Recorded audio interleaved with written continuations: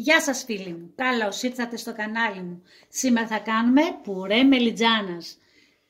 Τα υλικά που θα χρειαστούμε είναι μελιτζάνες. Τώρα εγώ έχω δύο μεγάλες. Θα βάλετε ή δύο μεγάλες ή τρεις μεσές. Αλάτι, μαυροπίπερο, γάλα, αλεύρι, για την πεσαμέλη είναι αυτό. Και βούτυρο και μοσχοκάριδο, αν δεν σας αρέσει μην το βάλετε. Η διαδικασία είναι απλή, εύκολη και γρήγορη. Το μόνο που έχουμε είναι να ψήσουμε τις μελιτζάνες. Τώρα, αν, έχετε, αν, τις ψήσετε στα κάρβονα είναι ό,τι πιο καλύτερο, για να μας δώσει την καπνιστή τη μελιτζάνα, έτσι νοστιμεύει και το πουρέ μας. Αλλά τώρα εγώ θα τη ψήσω στο φούρνο, στο γκριλ, στο γκριλ με αερόθερμο. Θα τις βάλω να ψηθούν, όπως βλέπετε έχω βάλει αντικολλητικό χαρτί, στο γκριλ με αερόθερμο. Αν δεν έχετε εσείς γκριλ με αερόθερμο, το βάζετε απλά στο αερόθερμο, στους 220 βαθμούς. Για, μέχρι να ψηθεί η μελιτζάνα μας. Αυτό θα το καταλάβουμε αν βάλουμε ένα πιρούνι και τρυπιέται, αυτό θα πει ότι είναι ψημένη. Μπορείτε ακόμα τις μελιτζάνες να τις τρυπήσετε με ένα πυρούνι.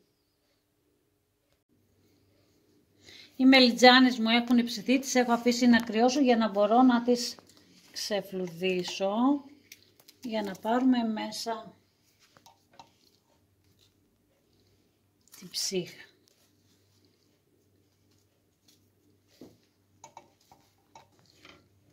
Όχι τη ψύχα, τη σάρκα της μελιτζάνας.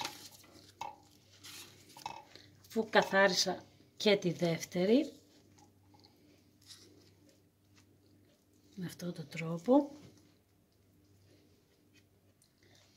και θα τις ψιλοκόψω με αυτόν τον τρόπο και μετά με το πυρούνι θα τις πατήσω να τις λιώσω.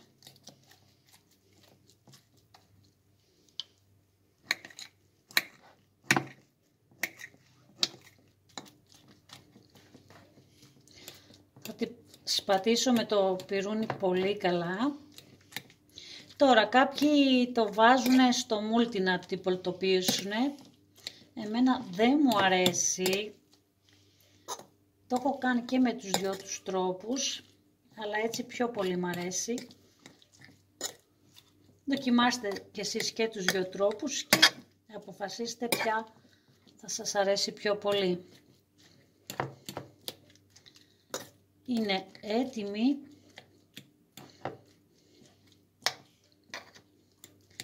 πάμε να κάνουμε την μπεσαμέλ. Έχω ανάψει το μάτι της κουζίνας και θα λιώσω το βούτυρο.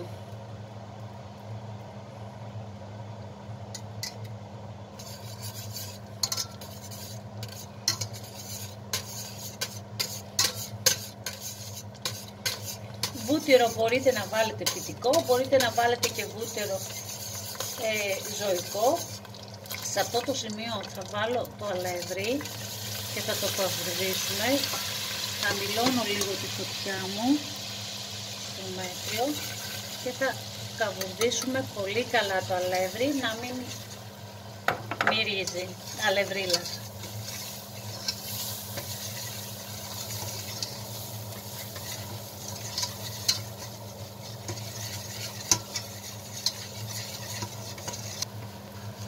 Προσθέτω το γάλα.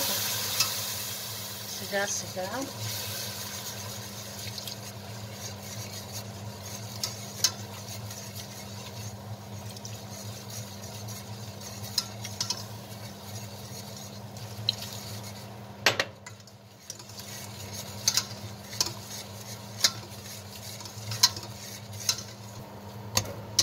Όπως βλέπετε έχει γίνει αυτή η μάζα σε αυτό το σημείο θα προσθέσω τη μελιτζάνα μου. Θα βάλω μαζί και τα ζουμιά που έχει βγάλει η μελιτζάνα. Κάποιοι το δεν τα βάζουν, εμένα μου αρέσει.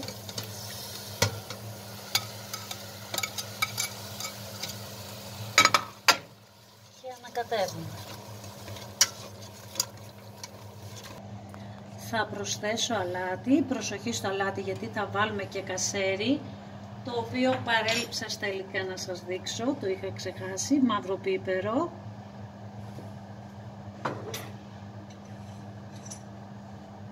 Το μοσκοκάριδο. Και πάμε να τα κάνουμε ένα καλό ανακάτεμα.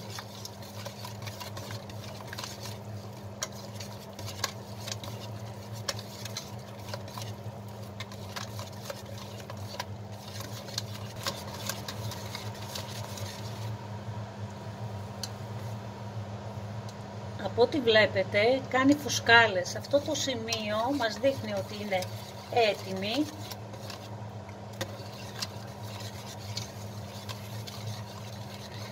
Θα προσθέσω το κασέρι.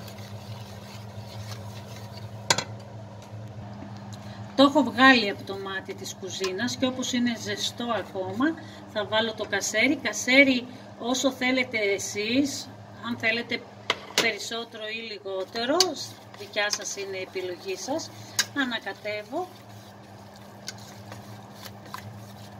και ο πουρές μελιτσάνα είναι έτοιμο. Δοκιμάζω αν χρειάζεται ε, αλάτι να βάλω ή μαύρο πίπερο. Αυτό είναι ανάλογο στο γούστο του καθενός. Κοιτάξτε την υφή που έχει. Θα το βάλω σε μια πιατέλα. Έτοιμος ο πουρές μελιτζάνα, συνοδεύεται με κοκκινιστό, με ψητά κρέατα, με ό,τι θέλετε.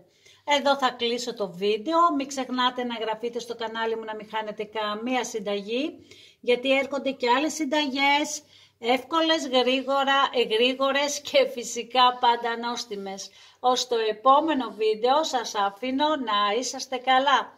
Γεια σας!